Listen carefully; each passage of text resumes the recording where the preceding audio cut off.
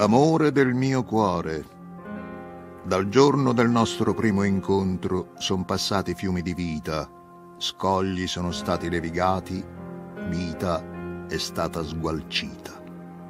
Ma ancora mi ricordo come adesso quando, girandoti improvvisa, volesti sfiorar le mie labbra in un bacio timoroso, con gli occhi a setacciar la strada la fronte desiderosa di quiete sulla mia spalla. E non credevo, gioia mia, che dopo tante cose della mia vita quel tuo sgusciar leggero sul mio petto fosse null'altro che l'ultimo brivido sconosciuto, una dichiarazione d'amore alle mie goffe e assurde paure, una frase non detta tanto, tanto più ricca d'ogni mia confusa parola.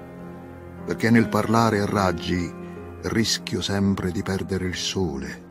Vedi mia gioia, credo che a volte, improvvisamente, vivendo, scopriamo negli altri una parte di noi e che non ci si conosca mai abbastanza, mai dirsi definiti, mai credersi finiti, e che l'insicurezza può essere il più dolce dei segreti. E io in te quella sera trovai questa parte di me non conosciuta, quella strana malia che chiamai amore non riuscendo a dire altro, quella parte di me a cui io, creatore di fiumi di parole, non seppi dar nome diverso dal tuo.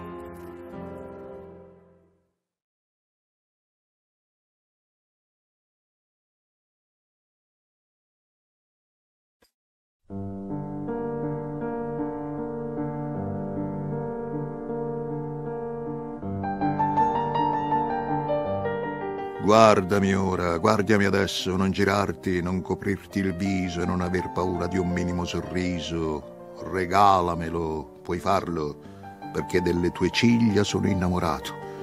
Ma sulle tue pupille ho scommesso il cuore e voglio vederle, voglio rivederle. Voglio entrarci dentro, passeggiar per la tua anima come con i polpastrelli le spalle, come un vento che non ti punge la pelle, ma che senti addosso come un vestito bello. Amore, non so quante parole ti avrò detto e quante ancora te ne dirò, ma la forza del tuo sguardo vale più di tutto questo, vale il secolo trascorso, vale la montagna che non ho scalato, vale ogni momento che ho vissuto, vale il riso, il pianto e il riassunto del mondo. E allora guardami, amore perché non so fin quanto saprò toccarti il cuore e fino a quel momento voglio che tu sappia che sei mia, anche quando non ti sento, soprattutto quando non ti sento, perché so che anche in quel momento non vi sarà mai abbastanza tempo per dire ai tuoi occhi quanto ti amo.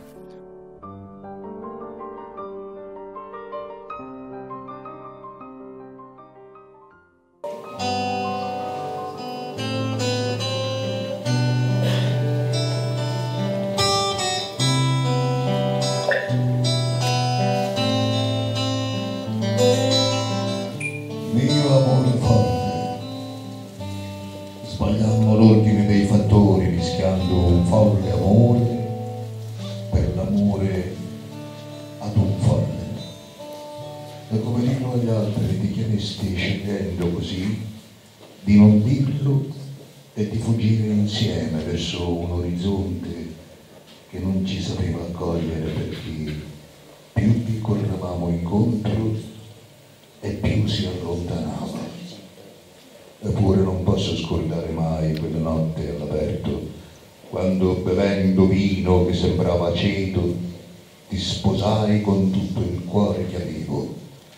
Non posso scordare quel momento in cui ti addormentasti dopo aver fatto l'amore, io, che non lo avevo fatto mai, io che non lo avrei fatto più.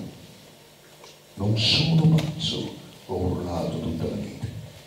E forse nel momento più normale pazzo mi sentii davvero. Seppi quale era stata la soglia del mistero ed entrai a capofitto nella storia pazza di un uomo e una donna che non sanno di niente e di nulla e non di loro stessi. E quella notte vedi, credo di aver capito tante cose, che si può essere fuori, spartito per tutta la vita, ma mai suonare due volte la stessa nota, che si può essere insieme da soli o soli anche insieme, non dipende dal contesto ma dall'abbraccio, dall'abbraccio che si può correre e tornare allo stesso punto se non si sa dove andare, che si può amare senza vivere, ma mai, mai vivere senza amare. Per quella notte urlai il tuo nome invece del mio e fu un fatto nuovo, perché vedi, amore, nessuno mi aveva mai chiesto niente, allora ero sempre stato io a sentire forte, forte il bisogno di afferrarmi, di incidere attorno a me. E se non capivo le cose, solo tu mi hai portato via, mi prendesti la mano dicendo andiamo, andiamo. E io ti ho seguito, sì, ti ho seguito perché quella volta sentì un suono, è vero, non prendermi in giro per me, non parlavi, cantavi e nel seguirti allora io non camminavo, parlavo mentre che tormentassi quella notte presi dell'erba e l'annodai. Non avevo altri anelli e scivolò sul tuo quel cerchio d'erba che si teneva appena. Quello, sì, quello fu il segno che ci eravamo sposati. Il cielo in fondo non ci avrebbe fatto caso. Ora che sono passati tanti anni non so dove sei e se ti perdoneranno mai l'avermi portato via, rapito come se regalarmi un sogno fosse chiedere un riscatto alla vita rubata che mi aveva sempre regalato il mondo. E ora che la mia vita è ancora in mano ad altri non posso che ringraziarti amore nell'avermi insegnato che anche per me vi era qualcosa d'altro che non il dolore e che anche per me vi era uno spazio che per tutti può essere possibile amare un folle e amarlo di un amore folle. Per questo nessuno di capì, per questo nessuno ci capì, perché nessuno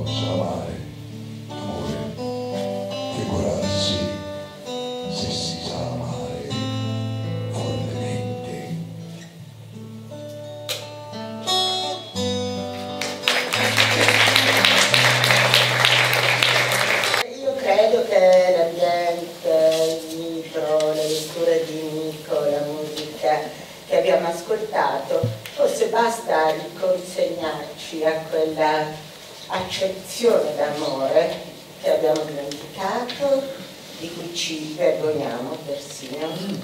Eppure non se ne vergognavano i grandi poeti, eppure non se ne vergognava uno e certo non si poteva dire un uomo leggero, irresponsabile come Dante, per esempio, che scriveva Amorca nulla amato, amat perdona, e che forse ha ragione Roland Barthes quando scrive quel suo straordinario saggio sui eh, frammenti di un discorso amoroso. Forse ha ragione lui, il sentimento oggi fa più scandalo dell'eros, del porno, forse perché eh, dell'eros, del pornografico, eh, siamo veramente tutti sommersi, i corpi, i corpi vengono spesso usati anche solo in funzione pubblicitaria, l'amore eh, viene spesso inteso nel suo aspetto eh, di mercimonio e quindi il sentimento e allora certo ci scandalizziamo che un uomo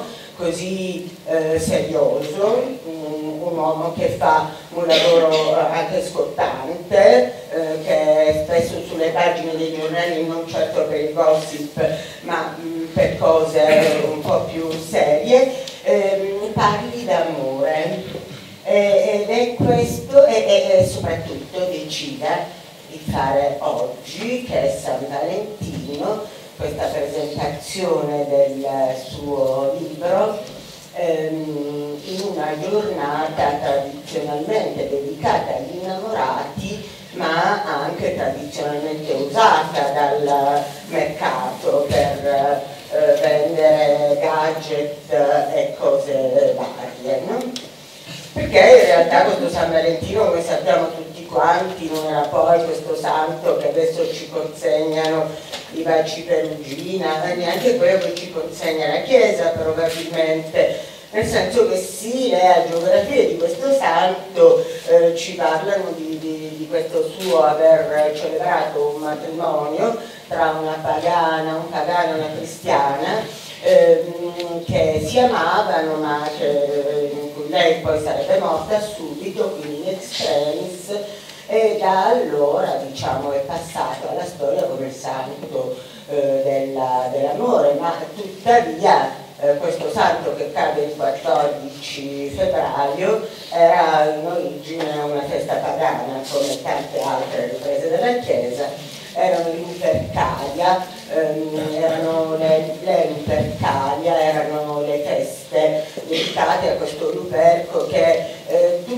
aveva tranne che l'amore come sentimento, che canta, che, di cui scrive eh, Santino ma ehm, Santino certo non è il primo a scrivere lettere d'amore, eh, io sono certa che le giovani, le ragazze forse ne hanno ricevuto molto poco, ma già eh, le donne della mia generazione, qualcuna devono averla ricevuta, lo confesso, no?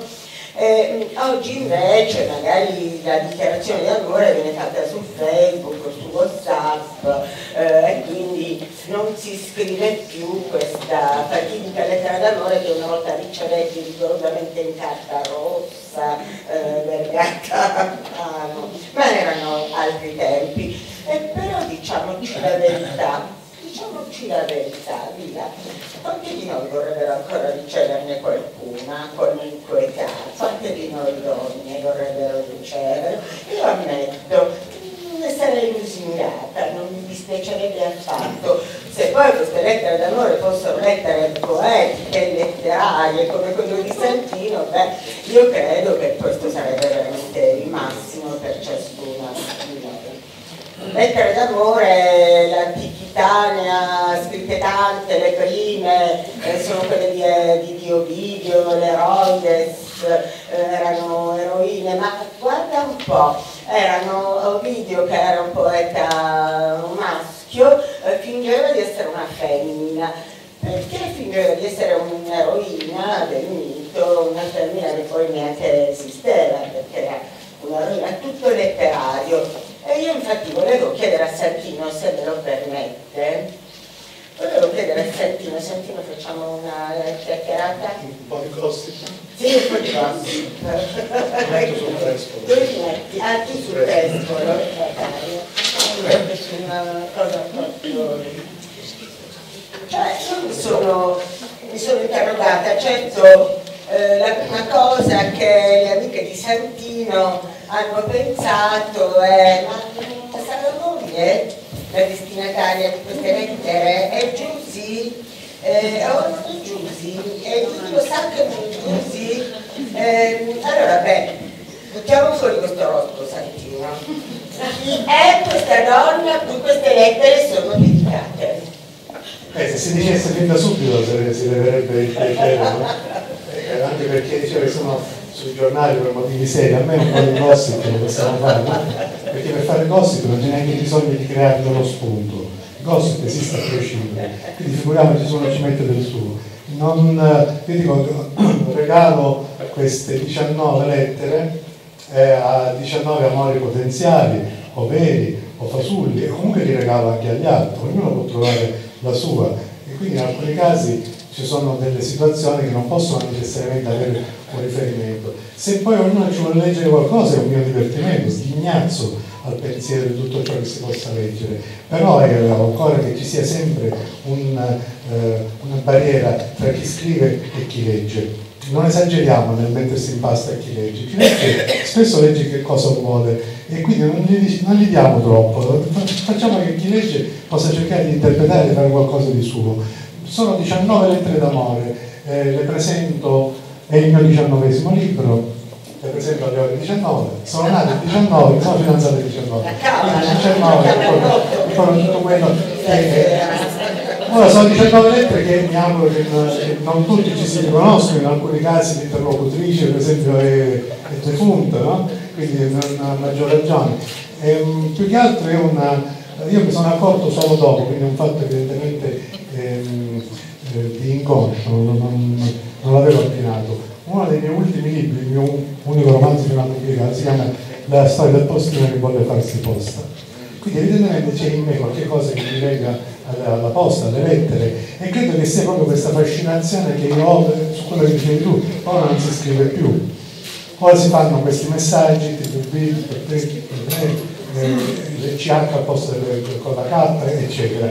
Quindi sono tutte situazioni che siccome la procura ci sta mangiando vivi, non si dà più il, lo spazio alla parola scritta ponderata. La parola scritta ponderata è anche bello averla cartacea, averla averla, un tempo si scrivevano, come dicevi tu, in, in uh, buste profumate, in carta rosa. Ecco, adesso è tutto uh, mordi e fuggi, mordi e fuggi. Adesso le dichiarazioni d'amore, dicevi, si fanno su, su, internet, si fanno su Facebook, magari si fa il copia incontro, non si fanno a 3-4, così vediamo chi mi risponde prima.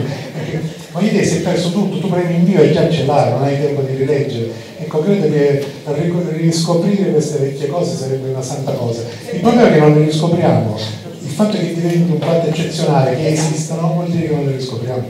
Io, a Santino io per esempio ho letto delle lettere stupende che pur venendo da artisti erano delle lettere private. Per esempio le lettere di Franz Kafka, Milena Jesenska, eh, lettere di Vittorio Calvino a Elsa De Giorgi, le lettere di Goethe a Lotte von Stein, di Frida Kahlo a Diego Rivera, che non ti con una passione incredibile, Winston Churchill alla moglie, eh, di Hemingway a Madeleine Dietrich, cioè per la maggior parte si tratta di artisti che scrivono alle loro donne, che magari sono intellettuali, alcune di queste, per esempio le lettere di Dino Campano a Sibilla De Ramos sono quanto di più straordinario. Eh, ma, um, però è un epistolario reale, le lettere di Santino invece non sono mai state spedite, sono state pubblicate. Allora, fino a che punto dobbiamo dire che sono lettere vere, tra virgolette, oppure che sono una finzione? Finzione come fiction, come eh, finzione letteraria. Io ti dovrei levare il separare tra me e il lettore, cosa che come dicevo non faccio. Vabbè, in ogni caso è importante una cosa, che eh, nello scrivere si sia onesti rispetto al tipo di emozione che uno vuole trasmettere, perché un'emozione, ecco, si scrive in due modi diversi, o per il, per il pubblico o per se stessi. Per scrivere, secondo me, si può scrivere solo per se stessi e poi eventualmente partecipare, non dico rendere pubblico, partecipare, che è un concetto diverso, cioè far partecipi gli altri di qualcosa che in fin dei conti è tuo. E diciamo l'aspetto emozionale è fondamentale che sia onesto. Io non saprei scrivere cose diverse da quelle in cui mi riconosco, il che non significa che lo spunto sia reale. Lo spunto può essere reale, può essere non reale, può essere una frase, una situazione, un pensiero. E da lì io mi siedo sempre, non so mai cosa, dove vado incontro. Per questo mi diverto a, scrivere. Diceva Giovannino Guaresti, io scrivo in realtà quando non mi vedete scrivere, perché creo tutto dentro la mia testa, mentre invece quando mi vedete scrivere vuol dire che sto solo trascrivendo. Ecco, io sono l'opposto. Uh, io invece in realtà scrivo esclusivamente mentre scrivo. Scrivo e penso e creo, eccetera, perché divento lettore di me stesso e quindi ho la curiosità di vedere dove vado a parare. Quindi non sempre so cosa sto per fare, quindi a maggior ragione non so se sto scrivendo una cosa vera o meno, ma l'emozione è vera. Io ho molto apprezzato il coraggio che tu hai avuto nello scrivere queste lettere ma nel pubblicarle soprattutto. Di solito le lettere d'amore si scrivono avendo un fatto privato. Io invece ho apprezzato molto questo, ho apprezzato molto il coraggio di un uomo che ha il coraggio di dire che sa amare, che eh, ha il coraggio di dire che le donne sono da amare. Consideriamo che viviamo in un'epoca invece nella quale eh, non vengono sempre amate o l'amore viene inteso l'amore malato, inteso come possesso ehm, e quindi come dire, ben vengano detto uomini come questi che stanno apprezzare questo genere di amore come, come sentimento. Eh, un'altra cosa che ho notato, eh, Santino dimmi se dico il vero, se la mia impressione è esatta, che in realtà mm, l'idea del gossip che avevo lanciato all'inizio solo per ridere è fuori luogo perché non c'è nessuna donna reale qui dentro, dentro queste tue lettere. Chiarisco meglio il mio pensiero. Lo chiarisco così. Scriveva tanto gentile e tanto onesta pare la donna mia quando era altrui saluta, ma eh, che poi Beatrice fosse Beatrice di Folco Portinari, eh, Portinari aveva molto poca importanza. Era importante che cosa eh, suggeriva lui questa Beatrice, che ci fosse stata o meno, era poco importante. Per la maggior parte degli intellettuali, quando parlano di donne o parlano d'amore per questa donna o quest'altra, in realtà finiscono per ehm, avere una visione molto soggettiva, finiscono per parlare sempre di sé in realtà. E quindi questi ritratti amorosi alla fine sono sempre ritratti dell'autore che li ha concepiti. Dici Santino? Non è una critica la mia, è proprio un fatto tipicamente letterario, cioè che ci sia stata questa donna che abbia smosso questo ragionamento, questa lettera, o che non ci sia stata conta veramente poco Salvino, è la ricerca dell'eterno femminino, l'amore dell'amore, l'amore della femminilità, l'amore per l'essere donna che muove queste lettere o no? C'è la canzone di Fabrizio De André, Le Passanti, io dedico questa canzone ad ogni donna pensata come amore. Capiamo che la felicità ritorni, è più difficile che ci si ricordi degli episodi del cammino, ma se la vita smette di aiutarti è molto facile ricordarsi delle felicità intraviste, dei baci che non si è osato dare, delle occasioni lasciate da aspettare. Ecco, diciamo che queste di De André, io so a memoria le cose di André, non le mie, diciamo che questa di De André rende proprio l'idea di questa uh, figura immaginaria per ogni uomo, cioè questo ideale femminile che non necessariamente collima, perché come diceva invece Massimo Troisi, uomini e donne non sono fatti per stare assieme, siamo inadatti per stare assieme, siamo nemmeno adatti per sposarsi, diceva Troisi. In effetti è vero si parla eh, di sensibilità assolutamente diverse, io più volte mi è capitato di parlare uomini e donne un po' come l'acqua e l'olio, che non significa che uno sia meglio dell'altro, è proprio un fatto di sensibilità che è difficile raccordarsi. Ecco, in questa difficoltà di raccordarsi l'immaginario, eh, quella eccezionale fascinazione che gli uomini hanno per le donne è qualcosa che trascende. Ecco, Brancati diceva parlare delle donne per gli uomini è più bello che delle donne stesse. Esatto. Ecco, sì, forse in qualche modo c'è, noi non riusciamo forse a uh, dare dei contorni precisi al nostro immaginario, però questo immaginario continuiamo a esserne innamorati e quindi continuiamo a lasciarci andare e lasciarci prendere la mano, guardare il famoso cielo terzo invece che i sassi sul percorso. Questo un'autocitazione molto tanto. E in realtà il discorso amoroso che fa Santino Mirabella, nel mio modesto avviso, che però lui adesso ha confortato, io direi, è il discorso di una solitudine.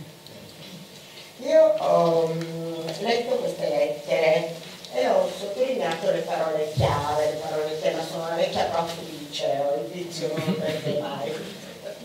Ho sottolineato le parole chiave, le parole chiave, i verbi eh, di eh, queste donne. Molto spesso mh, mm, accanto a queste donne c'è ehm, la parola silenzio, la parola vento, la parola dormire, la paura che si svegli, che parli, che diventi realtà, insomma, no? E, e, e, io non so quanto noi ci dobbiamo arrabbiare di esserci così poco in queste lettere, di esserci invece forte questo sentimento, questo sentimento di, di questo amore, perché in realtà il discorso amoroso è un discorso che si affida molto alla penna, Santino uh, è uno scrittore più che essere un amatore, o perlomeno è un amatore così come sono amatori gli scrittori.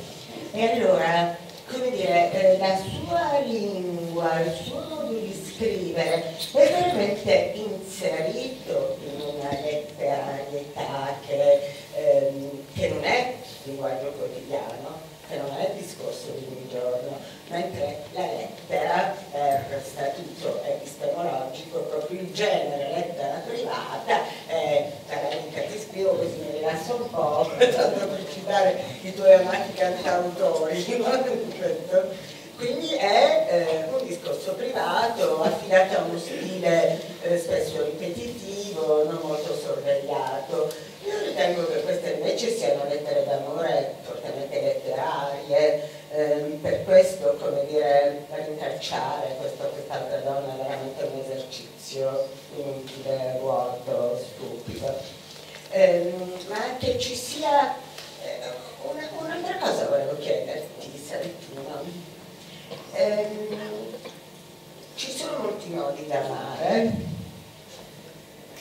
e poi ci sono che tutti è rientrare dentro i due estremi, uno è l'eros, la passione, la sensualità, il corpo, eccetera, l'altro è il voler bene. Dentro c'è un amore veramente difficile da trovare, da sperimentare. Ecco, 1, 2, 3, facciamo questa retta Santino, l'erotismo, l'amore e il volere bene. Nelle tue lettere che cosa c'è di tutto questo? L'erotismo pochissimo perché io non, non, non amo scrivere nulla che possa essere erotico nel senso specifico del termine, ci può essere sullo sfondo perché si può trovare qualcosa nel descrizione di un corpo, però non è erotismo, non è mero desiderio. In qualunque mi, mi dà fastidio leggere e scrivere l'erotismo, quindi furiarsi se si può trovare nelle mie cose.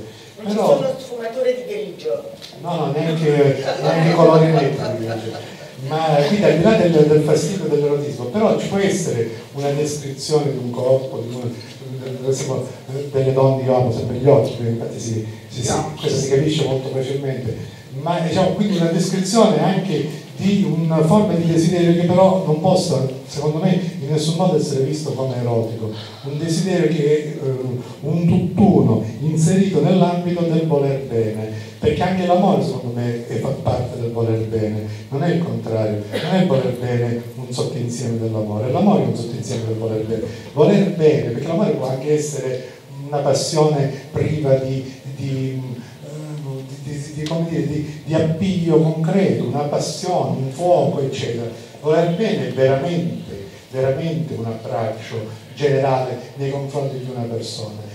Tu puoi volere bene in mille modi diversi, uno di questi è l'amore, ma secondo me l'amore fa parte del voler bene. E qui diciamo a scalare, tu l'hai detto nel, nel, senza saperlo, con le modalità che io ritengo. L'erotismo quasi inesistente nelle cose, nelle cose scritte, almeno ovviamente, no? tra parentesi però nel, nell'amore poi pian piano salendo e si arriva all'apoteosi del sentimento che è proprio voler bene e lì a quel punto tu hai più eh, passione per l'altro, più amore per l'altro, più pensieri nei confronti dell'altro che nei confronti di te stesso. Ma invece l'amore può anche essere confuso con il possesso, spesso eh, una parte dell'amore è il possesso o la gelosia, questi aspetti eh, che sono un po' patologici, che sono sempre l'amore. Tu parlavi poc'anzi dell'amore malato, c'è la trasmissione televisiva Amore Criminale. Ecco, la parola amore la si inserisce anche in aspetti che sono negativi. Voler bene, no, voler bene non esiste, non c'è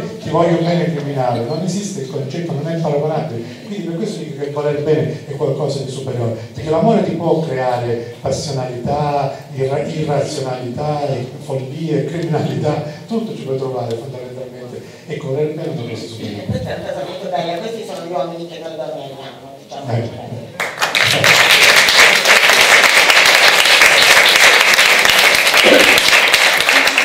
L'ultima cosa, eh, l'ultima che dici? Poi c'è, Eh, esatto, che volevo dire a proposito di questo linguaggio. Parlare d'amore è difficilissimo, eh, spesso i poeti si fermano davanti a questa cosa, vengono presi dal timor panico, dall'afasia, eh, dal panico proprio, perché parlare d'amore mette in moto un guazzabullo del linguaggio, una zona confusionale in cui il linguaggio sembra troppo, straborda, e allora cade nell'enfasi, eccetera, o troppo poco, non riesce mai a saper dire quello che vorrebbe. Invece io credo che proprio questo sia il miracolo di questo libro di Santino.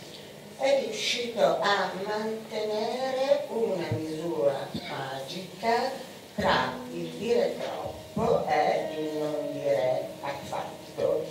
Ehm, per questo mi piace molto, dunque penso che ehm, avesse ragione Vecchioni, anzi aveva ragione Pessoa, che Vecchioni riprende eh, quando dice non è ridicolo parlare d'amore, forse scrivere lettere d'amore, forse invece è ridicolo non scriverle. Grazie dunque a Santino che le ha scritte. Grazie.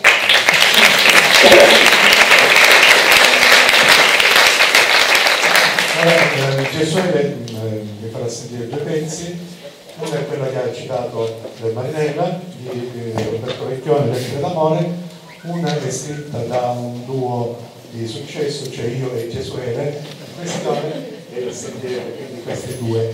Eh, ma a proposito di quello che diceva Marinella, ehm, io credo che sia importante per rifare un po' quello che diceva Vecchioni, diciamo in generale, credo che sia importante non aver paura di scrivere d'amore, proprio perché sembra una cosa così palesemente, ehm, delle volte c'è questo concetto sballato del macio, no? il macio che deve essere duro, rude, non dover mai, eh, non, non dover la pubblicità, che non deve chiedere mai, eccetera. E quindi un uomo che parla d'amore inizia a diventare, a, no, a sentirsi ridicolo.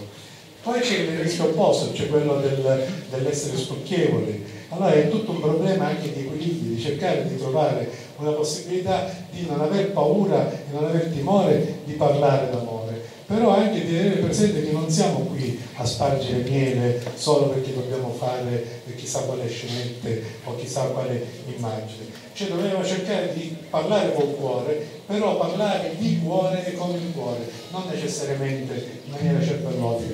Non dico necessariamente che lo facciamo tutti, non necessariamente lo faccio anche io per forza di cose, però sono delle cose a cui dobbiamo ambire, a cui dobbiamo sperare, per cui vale la pena vivere. E in tal senso è meravigliosa la canzone di, di Roberto Vecchioni, che appunto è ripresa da Fernando Pessoa, che si chiama proprio Lettere d'amore. E Gesuele Sciacca ce le farà sentire, poi diciamo questa successiva che si chiama eh, Lontana, per la nostra Lontana.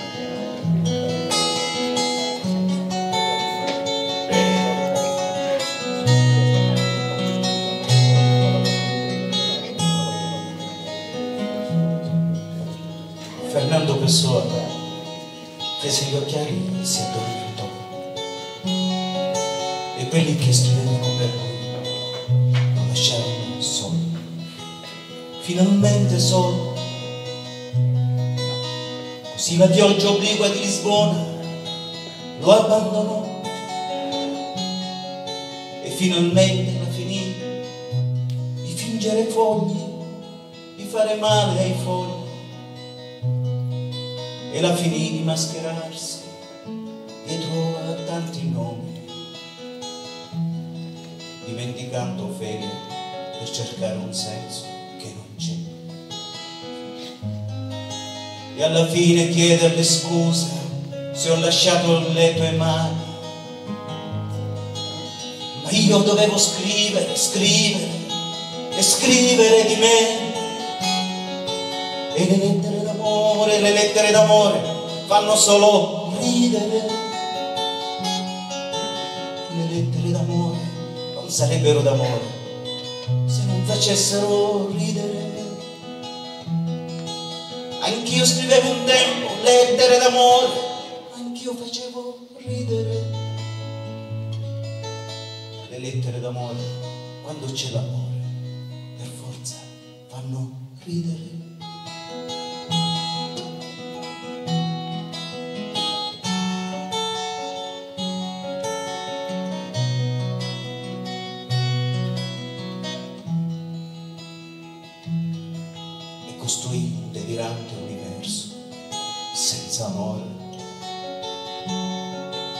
Dove tutte le cose hanno stanchezza di esistere e spalancato dolore, ma gli sfuggì che il senso della stella non è quello di un uomo.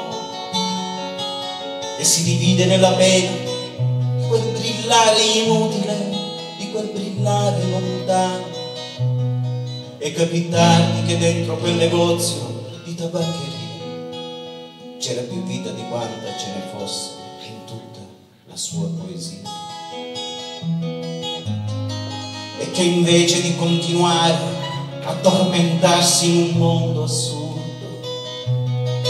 basterebbe toccare il corpo di una donna, rispondere a uno sguardo e scrivere, scrivere, scrivere d'amore anche se si fa ridere, anche quando la guardi, anche mentre la perdi, quello che conta è scrivere e non aver paura, non aver mai paura di essere ridicoli. Solo chi non ha scritto mai lettere d'amore fa veramente ridere. Le lettere d'amore, lettere d'amore di un amore invisibile. Le lettere d'amore che avevo cominciato, magari senza accorgermi. Le lettere d'amore che avevo immaginato, ma mi facevano ridere. Magari fossi in tempo, se avessi ancora il tempo, per potertele scrivere.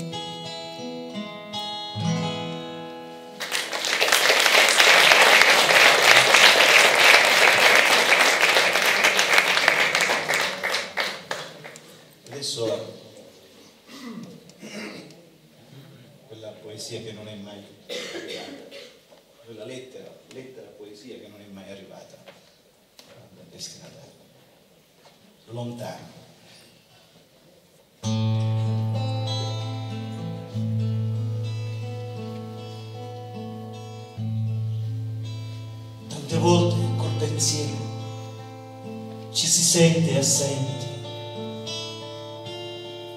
e a volte ti rivedevo anche a fari spenti. Lontana come lontano appariva quel momento del vago vantaggio di un innamoramento.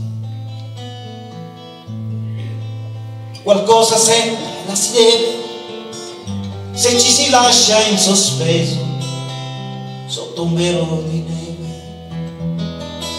Qualcosa è tanto, te la dovevo. Sì, lo so che è tardi, lo so, e non ci credevo. Queste parole, questo sbandamento ti siano carezza, la carezza che in vita non arriva in tempo. Lo vedi come un imprevisto. Ci siamo rivisti infine, ma non so proprio dire se fra tanta gente tu mi hai intravisto, se tra tante parole avevi tempo e voglia di guardarci spalle al sole.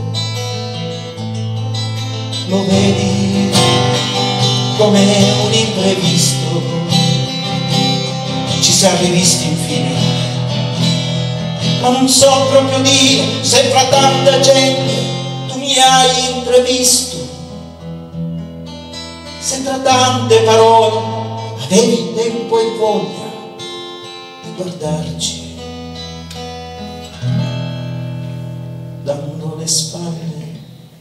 Al sole.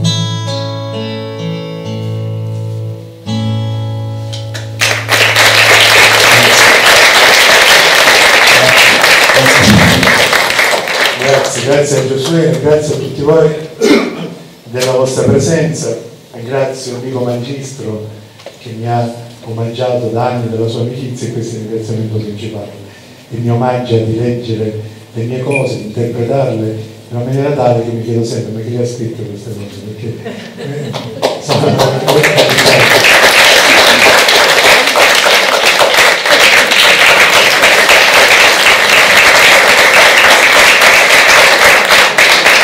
eh, come Nico, io credo con tutta la buona volontà di questo mondo non avrei potuto trovarlo migliore perché è una cosa impressionante la capacità di, di diventare quello che sta leggendo, non, non, le legge, le vive, una cosa impressionante. E non dopo che se le studiate per giorni, giorni, anche appena le sottopone dopo un minuto sai vive in una maniera incredibile, è come se tipo alfabeto braille eh, a 3S dal, dal, foglio tutte le emozioni, le amplifica perché vi aggiunge le sue e le porta avanti, una cosa impressionante, lo ringrazio sempre. Ringrazio Mario ed Eleonora per questo posto bellissimo che ci hanno eh, dato un posto che ho conosciuto da poco e appena l'ho visto gli ho detto ma tu ne fai presentazioni? Dice, allora le faccio. Non so se è la prima forse che fai. Grazie, grazie Mario ringrazio tutti voi e chiudiamo però con un altro video ed è un poi devi andare all'inizio però mi aggancio Marinella che la ringrazio a Monti sono richiamato che non ringrazio Marinella certo ma Marinella è proprio la padrona di casa ha, ha avuto la funzione di padrona di casa per me e quindi la ringrazio comunque a maggior ragione ovvio e, volevo dire a proposito di quello che dice Marinella di questa donna immaginaria, di, questa, di, questo immaginario femminino che abbiamo negli uomini. Ecco, questa proprio si intitola eh, Donna sconosciuta, eterno amore. Ecco, forse il titolo stesso abbraccia pienamente tutto quello che voglio ritenere eh, di dire, e cioè questo, eh, questa emozione eccezionale nella donna sconosciuta che però per un attimo tu la immagini come il tuo eterno amore e che possa essere così dopo eh, mettiamo anche quella dopo, vabbè, allora ve ne faccio due, perché ne ho un'altra che non volevo mettere, e comunque ne metteremo tutte e due. L'altra si chiama Mi piace e chiudiamo con Mi piace, tanto sono due minuti l'uno, non temete. Allora chiudiamo con Donna sconosciuta eterno amore e poi ci sarà Mi piace.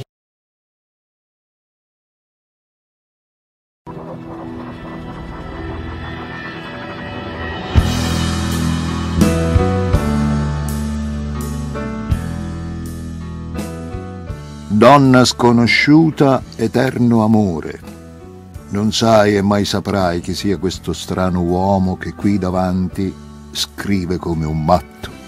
Scrive da matto e da matto vorrebbe comportarsi, alzarsi di scatto e di scatto baciare le tue labbra. Piano però, non ti vorrei svegliare. Da sveglia risvegli le tue difese, ti affidi ai disinganni, così invece sento di amarti senza meta per la gioia di farlo, da secondare il vento che mi soffia dentro da quando hai superato quella soglia. Mi hai salutato appena per cortesia sistemandoti la borsa, sistemando quel velo della tua gonna sparso sul sedile come ventaglio di fantasia, appoggiato il viso al palmo, il dorso rilassato sempre più. E ora non so staccarmi da te e non so parlarti, non posso farlo. Non saprei farlo se non così, con l'estro della mia passione rinserrata nel tremolio scomposto della mia mano che ti scrive a tua insaputa. Or così vedi, mi sembra di conoscerti e di amarti come non sai, mi sembra di averti amato sempre, anzi, di sempre averti amato non sapendo mai il tuo nome. Eppure ti conosco e ti assaporo lentamente, bella ad occhi chiusi, respiro regolare che sogno sia il sospiro del tuo far l'amore. Posso seguirti nei tuoi sogni adesso, mentre in difesa mi dormi davanti. E forse proprio lì mi conosci già, mi ami e mi amerai con un nome che non ho.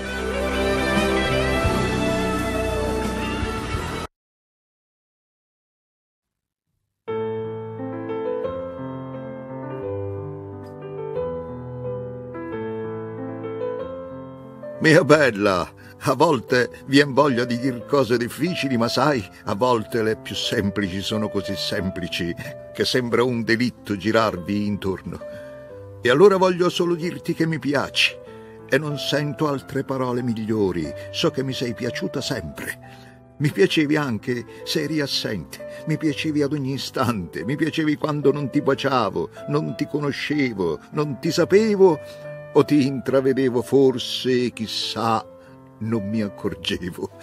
Mi piace l'idea di te, il tuo incedere elegante anche senza me, mi piaci, mi piace ogni domanda, ogni piccolo timore d'ogni cosa, mi piace il tuo guardarti intorno, aver timore di qualcosa, aver pensieri astratti sulle cose, aver sentieri persi per il mondo, mi piace di te anche il respiro la nota che componi quando parli, il vento che accetti tra i capelli quando non sai come usarli. Mi piace che ti parlo.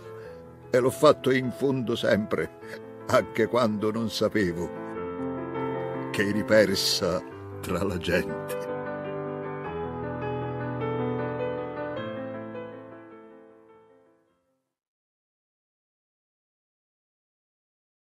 per la signorina laggiù e la bravissima fotografa prego alza perché Alberta Dionisi che è molto ispirativa abbiamo fatto un è meravigliosa come fotografa e come persona la ringrazio in copertina tanto c'è sua figlia quindi è tutto un po', un po in famiglia e ci ho detto vi ringrazio e vi invito nell'altra stanza a nutrirvi di baci perugini